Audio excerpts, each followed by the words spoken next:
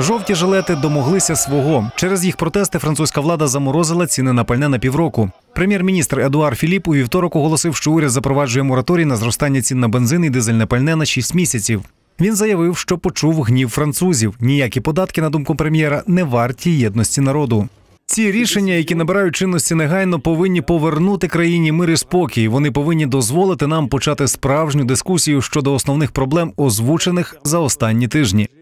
Влада виконала одну з головних вимог активістів, які три тижні поспіль виходили на протестні акції по всій країні. В основному вони були мирними, але в суботу у Парижі демонстрації закінчилися запеклими сутичками з поліцією, заворушеннями і погромами. Більше ста людей постраждали. Поліція відзвітувала про 412 затриманих. Президент Франції стверджував, що підвищення цін на пальне це необхідний крок для боротьби з кліматичними змінами. Однак жовті жилети з недовірою поставилися до слів Еммануеля Макрона. Його звинуватили в потуранні багатим громадянам і бездіяльності стосовно бідних. Заворушення в Парижі стали найзапеклішими з 1968 року. Тоді протести призвели до зміни уряду і відставки президента Шарля де Голля.